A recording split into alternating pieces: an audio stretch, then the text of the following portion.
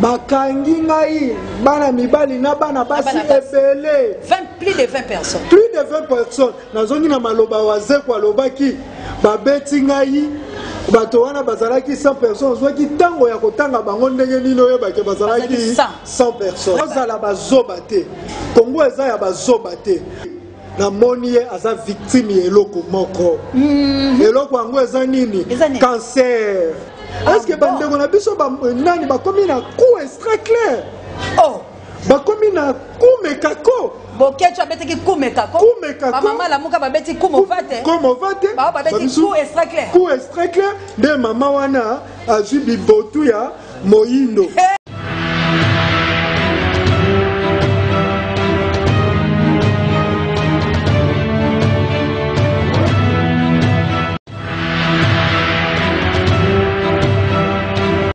bandeko balandi ya émission tolobela mboka congo napesi bino mbote esika nyonso ezwami bino mpe tika ete kimia ya nzambe tata eyingela o mabota ma bino bandeko lelo mpenza tozali koloba mpamba te esengeli topanza esengeli toloba esengeli tofungola esengeli tocingola maye manso mazali koleka na république démocratique du congo kasi bandeko azali ngai moko te oseya azali ye moko te azali na mokolo congo oyo bino nyonso bolingaka mpe nayebi ete bino nyonso bozali liboso ya etando eke boali na esengo mpo ete bomoni couple oyo ekoloba maye masolosolo oyo ezali na kati ya mitema na bino kasi towumela te na kolobeki eloboki toyamba nanu mopaya mwa biso mbote mwana mboka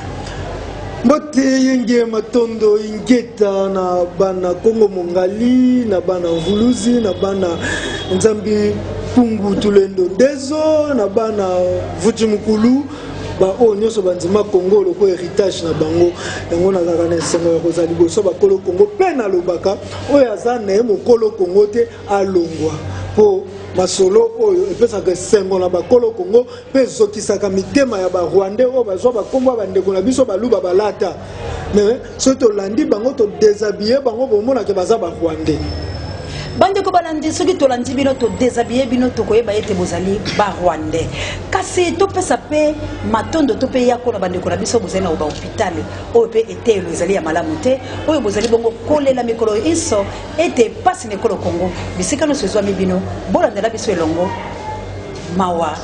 ya biso na bino nde ezali kozwa mwa esengo moke na koyokaka mokolo kongo kasi ndeko olobi bamwana rwanda balata baluba tokei nanu kaka na eloko wana to anticipe meka nanu koyebisa bato mpo ete bandeko mingi ezali kosala bango motema mpasi bokeseni nini entre bataliban to mpe baluba mpo makambo wana ezali kosala mwa mpasi ezali kobenga mwa tribalisme mwa nini lokola mpe balata bakombo ya barwandais ah, yango wana mpe eza eloko oyo lelo ecreye batrouble partout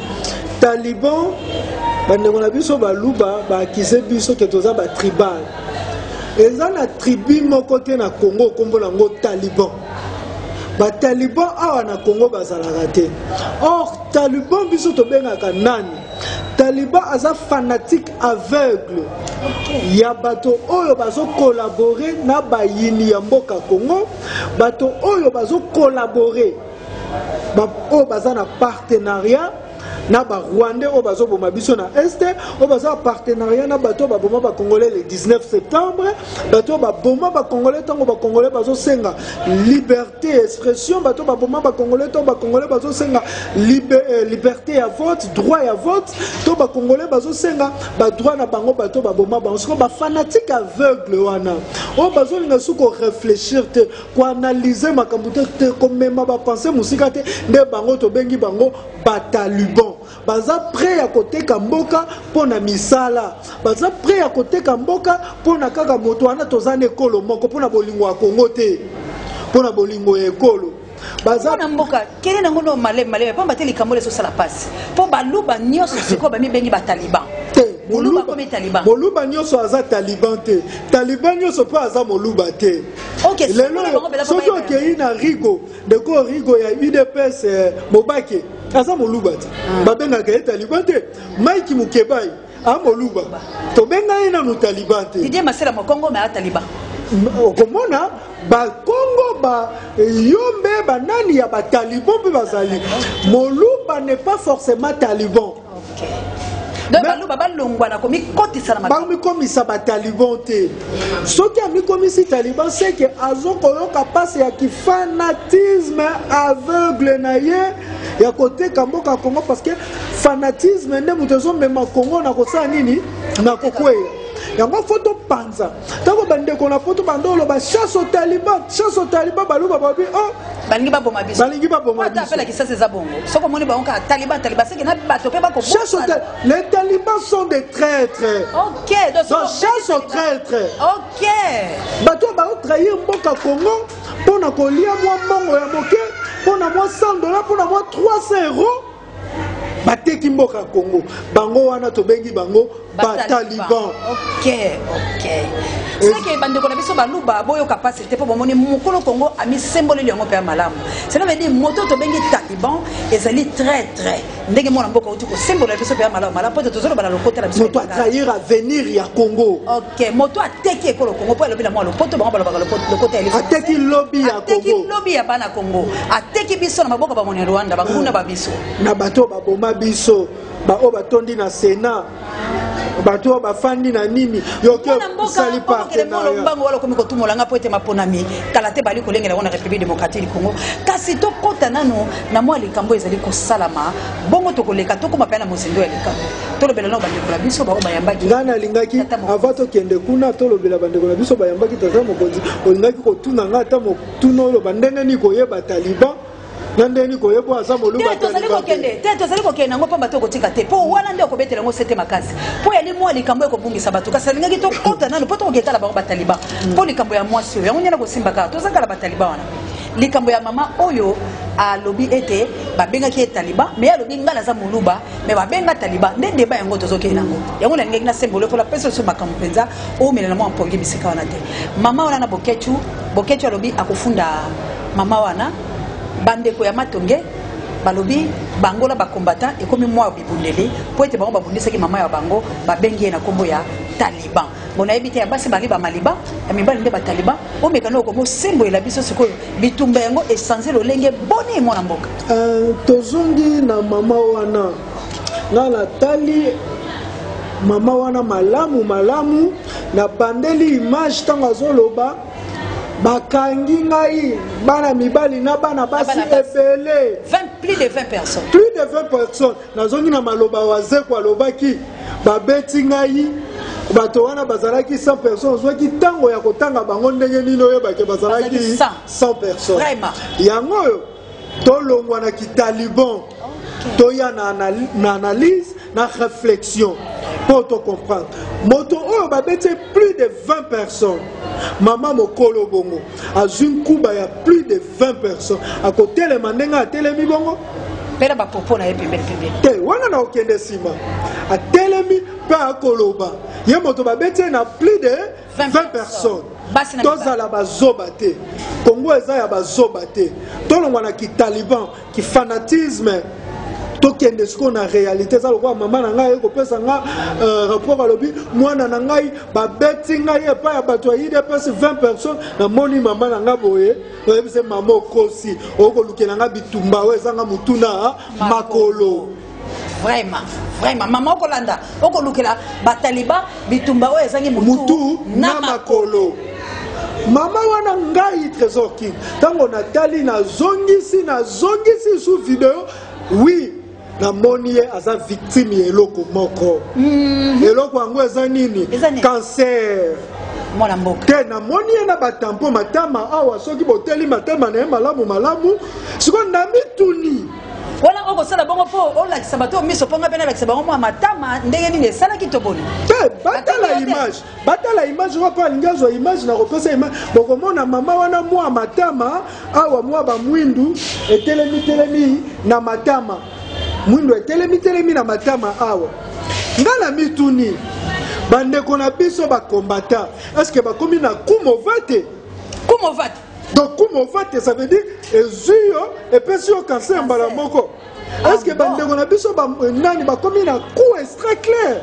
oh. bakomi na kumekako bokeco abetaki kumekako bamama lamuka babeti kumovate kumovate bao babeti ku extra clair ku extra clair nde mama wana azwi bibotu ya moyindo hey,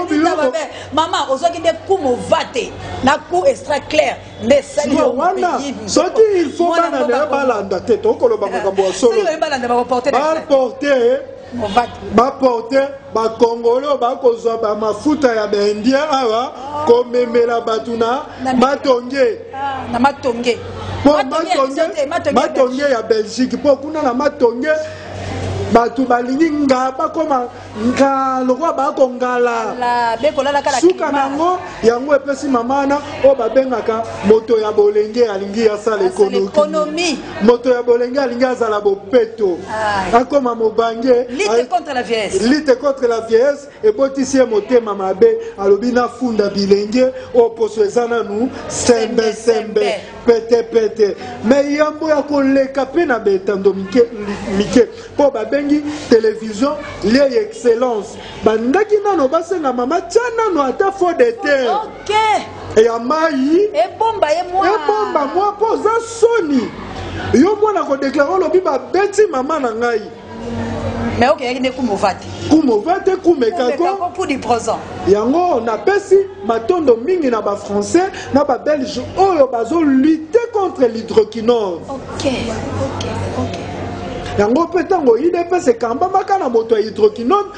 totelemelaka yango bakamamaka mpe na moto ya hidrokino oui tanga na mwa kombo te tokotanga bakombo mpo basala nini nani ayebi te ke no jean mark abundi alingaka mwa mposo ezala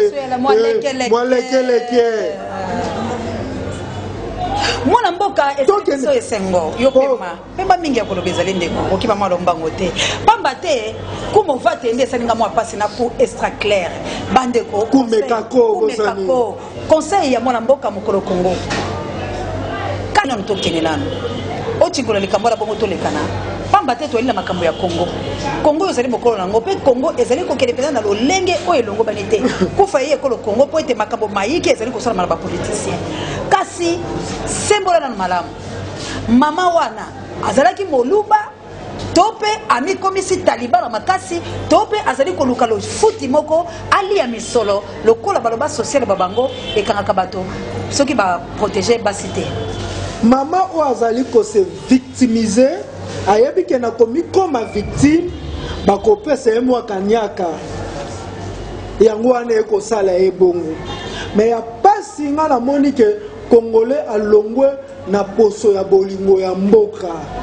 na poso ya bolingo ya ndeko na yo Congolais.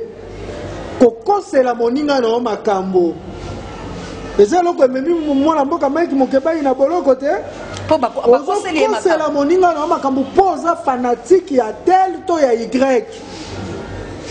ondimi kokosela bato oyo bandimi kobunda mpo na mboka congo yo ndima kokosela bango makamboobabeti nga na mwa mobali moko na defo na lino ye akangaka ya defo na lino ntango moto akoseka yo kotelele bilebo oyo okoka tokebaka mpe bisika ya bato eh. mwa efo tobombaka mwa nzoto mpo moto mosusu akokosa yo likambo tala na mwa lopende eyali na mwa cicatrice na mwa wana tososola tosala analyse mpo tolongwa na ki fanatisme ya kitaliban mama wana ye moko ase confirme ke aza taliban oui. donc congo econfirme te ke taliban ye moko alakisi ngai nalati elamba taliban mpo balobi tozobeta banani bataliban batraitre bato bandimi kokolabore na barwandais kokolabore na baye baboma ba congolais baobi il y a pas de chasse aux sorciers mais sorcier mpo na kochasse ye te il faut andima kotika nini kindoki mpo soki bochasse te botiki ye mpe na kaka na kindoki na ya kosilisa bino nayebi te soki tokoki kososola boyebisa ndoki tika kindoki andimi iyo nasali nini natiki kindoki aleki na tubela ntango aleki na tubela bobia to bomeye lisusu te mpo asali nini akomi ndeko na biso wi soki atiki fanatisme tozongi na sense ya kobundela mboka batiki kokrache sur bato bakufa mpo na liberation ya mboka okongo batiki kokrache sur papa etienne tshisekedi nde ebongo taliban akomi nani ndeko na ngai azongi ndeko na ngai ma eza bataliban mosusu mpo ata na biblia balobi eza na bafils ba du diable mosusu bakozala pardonne te eza bongo lokola bataliban te bataliban basusu mpo bamisusu bakoki kokota kitaliban na loyenge neti natali bilenge ya matonge tala nde bakoki kokoma bataliban na loyenge bamikomisi kaka pamba bamikomisi oh, bataliban eloko epesi nga mpasi nini bakoloba biso bakolo matonge ntango biso tokoki komibenga bakolo kongo bango bazoke kobundela matonge bisika ya esengo biso tokoki kobundela bango awa ah. mpo lobi baya kozonga na mboka na bango bazala kimia ya kobeta tola lobi ngakolo matonge matonge mboka nani ya mindele ya mindele tala congolais tala congolais oyo azangi mayele ndeko bakomaka kobangela mboka ya mopaya te tika tolobe ndeke omoni ndeke ndeke ata abeti tolo alobi ngai afandaka na mabele te ngai place na ngai eza nzete ngai na se nini akoya kokita na se mpo na koluka bilei soki alobi mpe nakolia na se te nakolia bambuma na likolo ebembe na ye komona wapi na se soki alobi mpe ngai nakokufa na zala nkusu akolia ebembe na ye komona wapi na se ya mabele omoni ke mabele eza ntina mabele yango nini mboka okongo bandeko nabanzi bolandi mokolo kongo alobi na bino ete bakomaka mobange na mboka ya bapaya te ata kokimi likolo ya nzete okolia mbuma ekoyebana bobele na mabele soki mpe okufi na zala mwa yo Kisu tango bakoya ekomonana bobele mabele cela veut dire tika kobundela matonge eyali ekolo wa yo te ata kozwi mikanda ba bango bayebi ke yo ozali moto ya ye ekolo Congo kobosanaka ekolo wa yo te bitumba ba biso ezali ya moto te ya fanatisme moko te ndenge bolobi na lokota ya français kasi ezali bitumba ya kobundela Congo Anita Babe ifoku yo moto mwana mboka tokei nano na mobembo ya président de la république bandeko bino bozali na nsima oyo bosimbeli biso caméra tishiki na yo kabuya l'homme puissant on échange pas l'équipe kigan bopesa biso mwa ntango mpo toyebi te mpe ezalaka ngonga kasi oyo nde toyali kolobela ekolo kongo ndeko tata mokonzi ya ekolo kutulu kutu na belgique akendaki bapesi misolo ndenge balobi ya solo to ya lokuta yo nde okoyebisa peuple congolais sale etondaki bato bayike ya solo to ya lokuta yo okoyebisa biso kasi ya motuya oyo tata mokonzi akendelaki kuna azwi mango to mpe azwi mango te mpo ete mobembo matata mokonzi ya ekolo esengeli ezalaka na ntina na yango na bobimi mpe na bozongi bwa yango kasi oyo esalaki mbutumbutu na ye kolo ya bapaya to ya bakolo ba biso na belgique boni boni azwi mango amemeli biso to mpe ezali lokuta malobo mboka ye azwi mango te mpo nini yambo ya kopesa motuna oyo bakendaka kosenga loboko ya mopaya te ntango ye na mwasi na ye bakobunda bandele na malamu bato bayoka basengaka loboko ya voisin na yo te toloba ngo na lopoto ntango oke kokuta ye na mwasi na ye bakobunda yoke kosenga eloko na ndako na bango bakopesa yo te elingi koloba nini belgique na minute oyo eza na crise mhm. belgique makambo mafandi nano te eh. Pona ko gaspiller mosolo ya mboka Congo na ba voyage ayebi po avant mokonzi ya mboka abima eza na oyo tobengaka ba diplomate la diplomatie doit d'abord travailler ntango bango bakendaki bango bato bakonfirme eyaka bato bakendaka liboso wana eh, ezalaki ntango tokoki kotanga biblia mpo ngai nasali lutte pour la lecture de la bible okomona ke david alinga akende akotinda nanu messager mhm. papa mokonzi david akoya okoyamba ye te okoyamba ye te soki moto wana boya obi zonga yebisa david nakoyamba ye te to mpe banongi bakei na kotala esika okokende soki eyali malamu to mabe baye bakendaki na ambassadeur ya congo na belgique ayebi ke belgique na minute oyo accord militaire ekozala impossible me na motema mabe ya kogaspille mbongo ya mboka nde bazwi bake mobembo bakei mpe kunabanongi bakendaki bayebi ke ndimbola bia belgique yali nde na pasi nani ayebi te ke belgique na minute oyo makambo ezali na se makambo ya na se na belgique mais bataliba bayebi bayebi me balingi baspectacle politique ba one man show politique na basale c'était de one man show lobaka yango mwa malamu bato bayeba one man show ezali moto moko atelemi aza kotya show aza kotya moto na sale bato bakosepela bato bakoseka eza eloko elekaki moto atelemi ye moko parce que one men show moto moko mobali moko atelemi akotia moto donc chilombo atelemi akotya moto yoka bato kobeta maboko halo babeti maboko halo bataliban okoyeba ndenge nini taliban ah, réflexion eza te epa taliban okoyeba ndenge nini taliban nyonso tu moto alobaka bango bamonaka yango mabe ya bango nde malamu okay. yango wana bacaractere ya taliban okoyeba ndenge nini taliban baza makasi na koakize bato mosusu okoyeba ndenge nini taliban oui.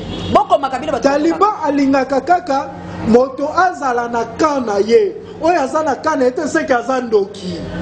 okay. okoyeba taliban bongo kasi mwana mboka chingola na olekambo yango seke félix tshilombo oyo tobengi tata mokonzi wa ekolo wa bataliban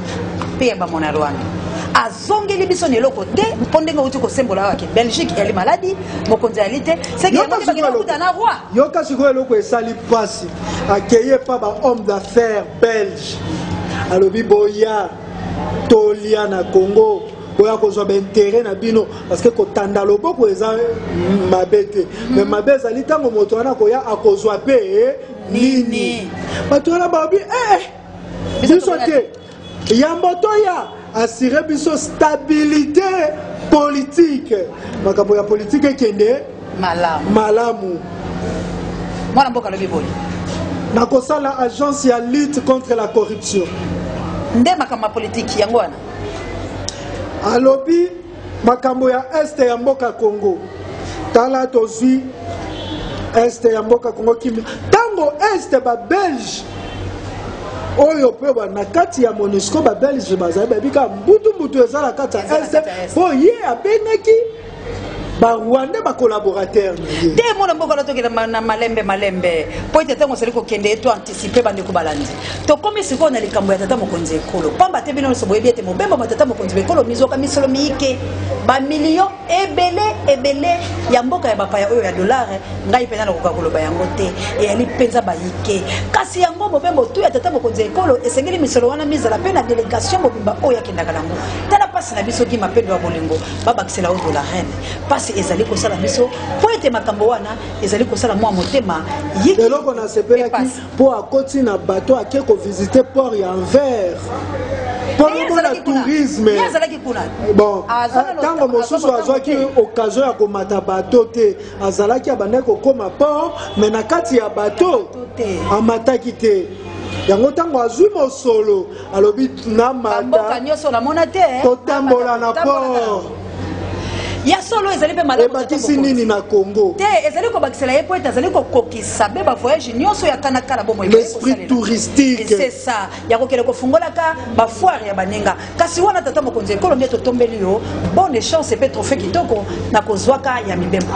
akozwa trophée ya mwana mboka ya pole mokenzi mokenzi fo azala reconnaissant parce que l'ingratitude eza bien te soki moto abimisi mbongo avoyage avoyage ifo na suka ata mwa elembo moko seke bamusicien boyokela président kanda te mpo azwa mwa elembo avoyage koleka bino bino bokobeta miziki bokokende te kasi ya ye eleki makasi mwana mboka tokende na likambo la monene président de la république alobi boye joseph kabila naza marionnette na ye te kasi nazali aliyebwa ye bango na ye bakomi bato moko kasi boni boni na eloko moko otei koloba awa ezali wane mene show oyo asalaki wana yalibe boye ah, bon yango wana ntango atelemaki afingi bamwana ya rwanda oyo bazali konyokola biso alobi bazali banyangalakata kasi yo na likambo wana olobi boni ye na bango ali kokoso to ali koloba solo je dis uh, vous savez ba humour oyo eza na temps oyo bazo repetaka yango mpe babimisa ngo tomonaka ona limete ti na dixième ri bana bakooka bato bazongisi bakokende basakani bakokende soki balobi bakokende donc bazotravaille na bavoi ah, okoya boye na moi omoni bango na sanse te wana bato balimete oui awa batelemeki me nakoloba ya solo ti bakolo bako kende bako kende tokomi na komedi ah, politike te toseka te ngai nakoka mpasi mpona ndenge ekokendele bako kende eza kolekisaka voi bako ah, oyoka bato baliboma Bwana bato ba liboma te. Nuance au moins l'opposition aloba nuance. Nuance ekoti na politique. Ah Félix hein. Politique ekomi ya comédie. Bato bakomona makambo mosusu bokomemela bango makambo mosusu. Parce que balobi jouer réel et jouer vrai. soki tozongi lisusu na maye matali sinema na loi ya stanilavinski okomona stanilavinski alobi joueur réel e joue vrai eza eloko bapoliticien bakomi kosa joueur réel e joue vrai nakozala na wene main show liboso ya bato bandimaka kobeta mabokoifona joue vrai mpona joue vrai nakobana baniangalakata wana est-ce que ezali mpenza malamu yali bolema te na président de la république wana bakoki kolandela te mpe bakanga ye nyangalakata tokei oyo nyangalakata bato ya province orientale bayebi ke nyangala ezalaki boloko mhm.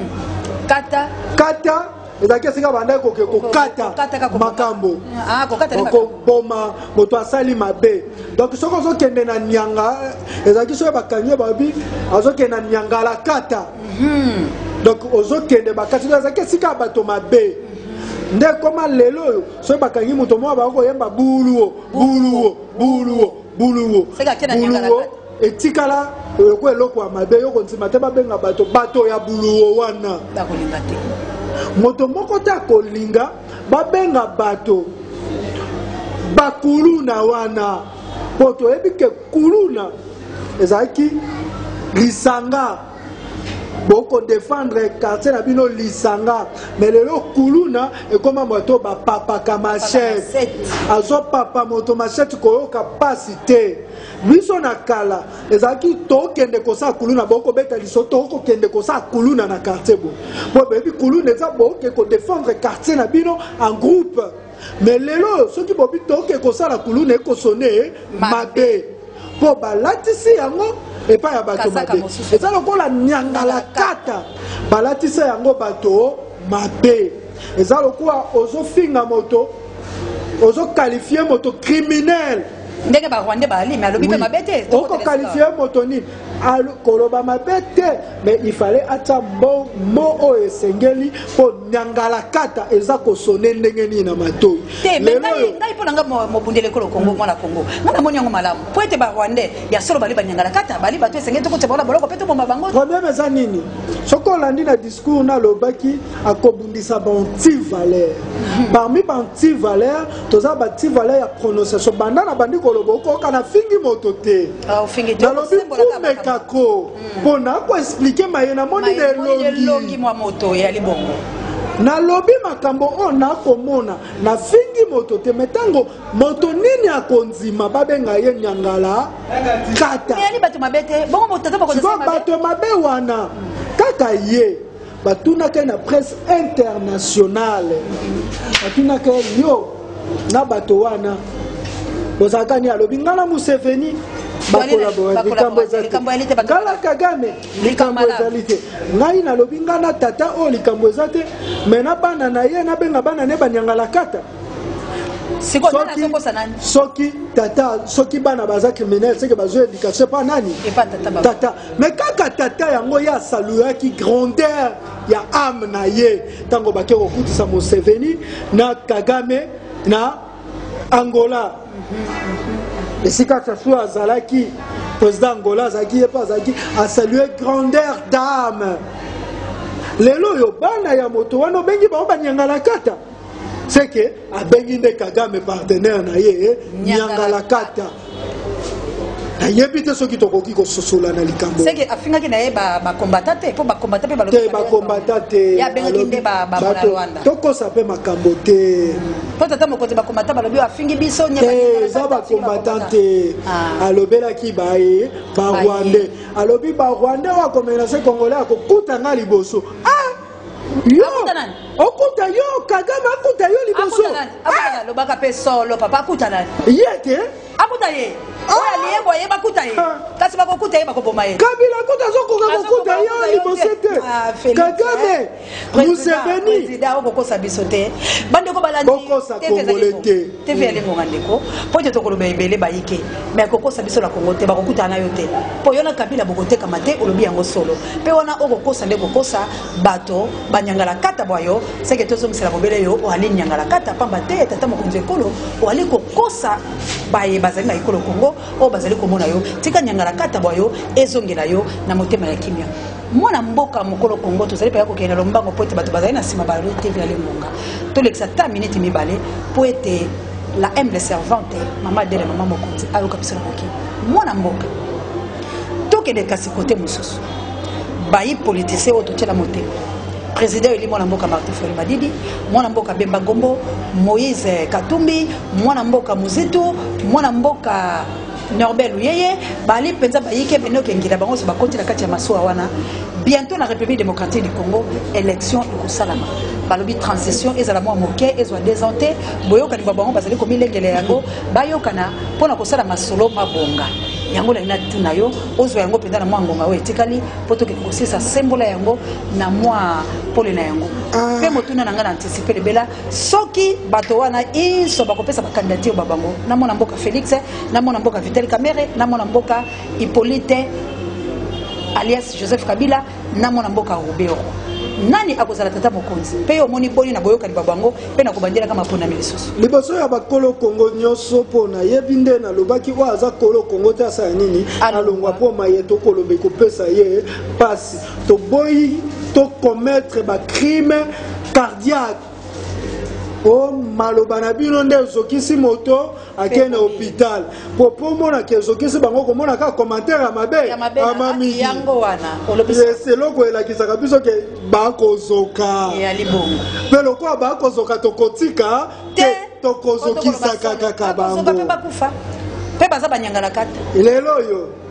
eloko wana nakende mpo naloba mbangu mpo eh, bakoyebisa biso telema nabandaki kolanda nyangalakata wana mingi na chambre ya hotel esika nafandaka mwana na ngai azoyoka nyangalakata nyangalakata nazobima abengi nga papa nyangalakata oh. namoniki eza malamu te nagangeli faut plus dire nyangalakata mpo kolakisaki eza malamu te donc nyangalakata botya mo wana te liboso ya bana mpo ezali malamu te toza na mposa te osembola congo eza pamba te tolungwe na distraction tokende na kobundela mboka mpo tobongisa-toyema kokutana na bato ya mboka banda kokutana ebanda na mboka 1960 bakutani basenga lipanda basengaki elektio te mhm. ke tokende elektio na bamindeli mhm. basengaki lipanda yango makambo esalaka nini esimbaka me ntango baye kosangana babi tokabola bokonzi tokomona 1960 kibokonzi ebimi lumumba bavote ye septembre basali nini bakangi lomoma après 4 mois basali nini babomi ye motema mabe bandi kobotama esiko bakokabola bokonzi esika motema mabe esalaka nini ebotamaka tokei lisusu topusani okomona na 1965 bavote combe ntango bavote combe Le 29 juin, je pense, le 29 juin, va voter Chombe. Le 4 juillet, euh, le 29 juin plutôt, Bakangi Chombe. Bakangi Chombe, Boto Bavotaki, pour Motema Mabe, ya lokoso ya mboka ebandi kobotama esika bapartisan ya tsombe le 4 juillet bakendaki na brazzaville mpo basala euh, nini, euh, nini conseil ya libération ya mboka Congo ya lumumba bakizenga bakendaki mpo basala republike mosusu mboka kokabwana kokutana nde moto ye kokabolisa mboka toye lisusu na mobutu mobutu na 1975 asali maponami mabe ya bakarton amoni ke mboka ekende mabe 78 fo asangisa bato basala election na bato oyo na se na ye te ememe mboka na mabe, na mabe. kokabwana esali nini ekoti ba udps na 82 botami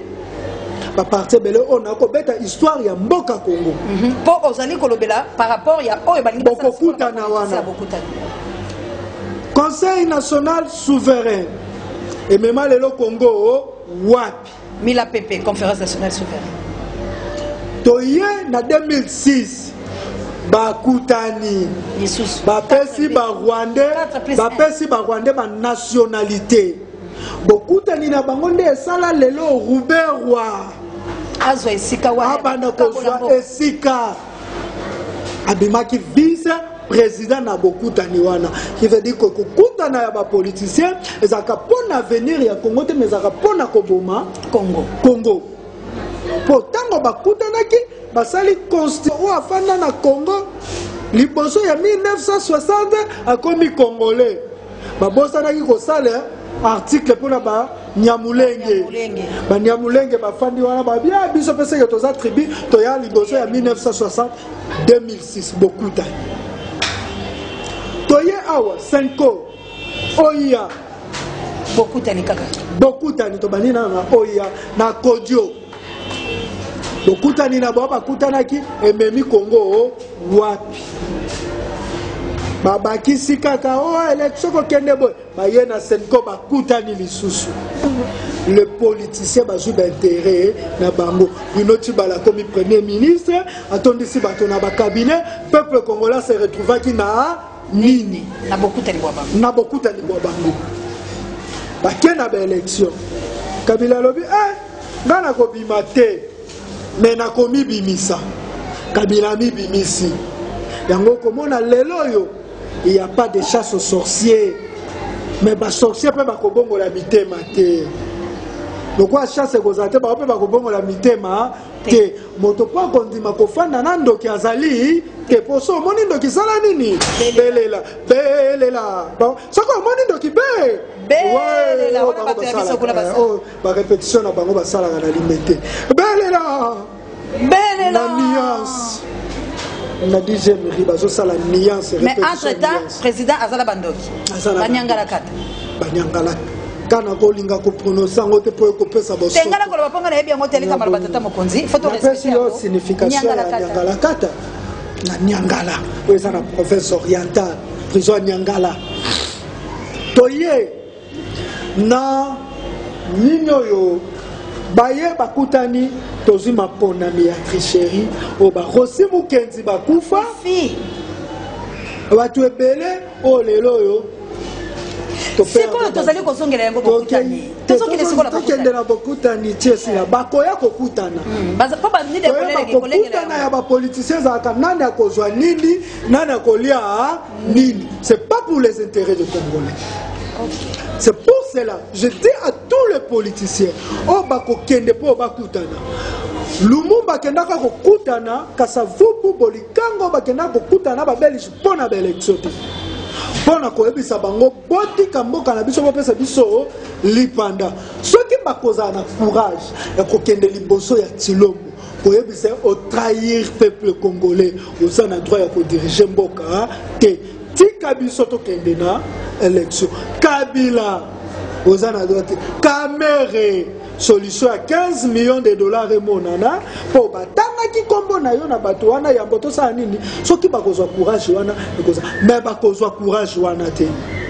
mpo tomonaki yo na 2006 tomonaki yo na kojo tomoni yo na senko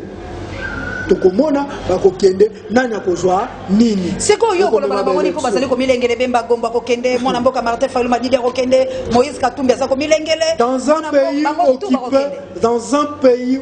qui a l'occupation les élections eza insulte na motu ya mbo peuple wana mpo baélection yango ekozala kaka na tricherie sikoyo lokola bango bandimi nini okoki koyebisa bango baboya babunda mpo ete soulèvement populaire ekozala baboya babunda mpo na soulèvement populaire au lieu bakende bamakambo wana kokutana wana mpo traitre akotikala kaka traitre celui qui a trahi trahira tozongi na maye matuni ngai soki bango tu bakei okovote nai nakopasola carte de lecteur nakodenonse na badroit na ngai po nini o denoncer na droit na yo est ce que oyebi ke soki odenoncer bongo mpe bakoki kokanga yo nani akokanga ngai nani akokanga ngai ntango bango bakopimela biso badroit na biso biso tokangi bango bapimela bato oyo bavote oyo oh, bino boza bokovote nsima baretarda droit na bango biso tokanga bango bapimela biso kovote na 2016 biso tokanga bango donc na bango inso okovote ata moto moko te nakovote moto te mpo nini oke moko baelektio wana ya, ya liboso dabord ekozala na bato oyo bakozala prépare na peuple te ekozala bato oyo bakoglise kaka bato na bango seke il faut tokei tokei na olobi katumbi katumbi a travaille avec kabila 2006 2011 eloko moko te elakisaka biso ke moïse katumbi achangea complètement tolongwa na katumbi toye na mozitu mwana mboka mozitu malgré bajournée baporte ouverte banini il a travaille avec kabila bemba accepte l'inacceptable nayebi boyoka nde nakopanza bango moko na moko matungulu accepte de gérer la banque et de laisser le combat. Fayoulou a accepté d'adorer euh, le pouvoir de Tshisekedi, de Chilombo et de laisser le combat. mwana mboka martin fayulu soki akoleka na baelektio nga motema na ngai kito azonga a répondre na émission ya cleboa oyo alobaki ke kabila azali ndeko na biso akokende esika moko te akotikala na kongo mpo eloko wana ata na kolala ata na okokutana na président martin fayulu esalaka nga ka be pasi nakomona rosi mokenzi mpo nga na ntango nakenda na faden okutani na président martin mokokanisa président martin alobaki kabila ndeko na biso akokende esika moko te seke soki mpe na vote président martin fayulu kabila akokende esika moko te seke bango wana baluka basokola bilamba na bango sino toboyi kodesabille apotre nani oyo mpo tolatisa paul yango wana congolais fo azala vigilant na mboka oyo c'est le peuple qui décide eza barencontre na bango te peuple apesa bavoi na ye na badepute badepute oyo batyela biso kuna baza badepute ya fcc nous devons dissoudre banda likolo ya mboka ti na se ya mboka bandeko balandi bolandi epai na bokebi tokomi na suka bandeko na banzi bosepeli kasi akokende boye te mpo ete tokozalaka na ye na mikolo miyike toloba nano tolobeke mpo ete mboka mpenza ezali na mpasi lipasa na ngai ya cnt live olandi biso mpenza na bokebi bosabone massivement massivement na ocean du congo mpe kuna bokokutana na mwana mboka kinge mpe na reaco bisika wapi bokozwaka mpe océan de la presse na mwa bemisio kuna mpamba te mariage oyo ekokufa te mpo tozali kobundela ekolo congo tozali bongo bakolo congo mpe héritage na biso tokotikela bana na biso serment ya liberté yango tozosala mosala matondo mingi eyingela bilo kasi mwa liloba ya suka mpe mwa nimero ya telefone me boyoka biso mpasi te mpo maponami ezali kokende mituna ya bino yango wana soki eswi yo kozala taliban te ndeko bangai mpo ekosala yo mpasi liloba suka ezali tolongola baesprit ya mabe tolongola baesprit ya bainteret tobundela kongo mpo yango nde nkita oyo eleki bankita nyonso to evite kosala mabe na bandeko na biso oyo batrahir te oyo batrahir tokosala bango mabe ti suka mpo moto atrahir celui qui tue par l'épée sera tue par l'épée c'est lui qui trahit pour l'argent biso mpe tokotrahir ye na kaniaka tokoboma ye mpe na kaniaka bakoyebisa ngai citation à la haine non c'est incitation au patriotisme nazolinga motu to akoma patriote akoma odefendre mboka na numero na ngai bato bayebi aner bozwa bapapier mpo ekomaka ntango napesaka bato ya aner numero eza ntango oyo napesaka bataliban numero bo repete ba mafinga po kofinga oyo bofingi nga mikolo oyo nyonso ezomona ezalaki kofinga moko ezalaki repete te improvise donc esimbi nga bien te il faut bozwa ata deux semaine ya repetition ya kofinga yo moko vraiment omeki yango nano epa bana na yo soki omoni bana na yo baleli olobi mpe soki nakobeta trésor king akolela boni boni omeki yango nano epa bana na yo te ozoya obandi kofinga ngai tala ndenge oyo kopesa ngai courage na continue koloba mpo oyo ozokolisa ngai numero na ngai 00243 82 381 1851 bandeko balandi totondi bino mpe ya botondi numero na ngai yango wana soki bobengi bokozwa biso pamba te bomultiplie mafinga longonya na bino baprogramete angolano bondi ya botarde na la reine olga lompinga na bokitani florence motondo mido napesi matondo mingi na bato nyonso oyo bazalaki pembeni na biso par amour ndenge tozoloba kaka par amour to harmonise makambo na biso pamba te kongo tozongisa yango bele bele ndenge elobaka ndeko na ngai chirichara merci na balanga nzembo nyonso totombeli biloko na mokolo malamu mpe na bandeko nyonso oyo bozali kolanda biso bosabone encore une fois masilumana oseya likongo mpe na reaco news kuna nde bokozwa biso kasi baoyo bazalaki nsima ya kamera tishike na kabuya l'homme puissant merci na monteur na biso didier oyo azosalela biso mosala malamu merci na yo pape je directeur ya recherche mpe stratégique mpe pourquoi pas sango mokonzi pari ya bemiso na biso kasi biso na bino tokutanaki wanza molongo na nsima bomwa bye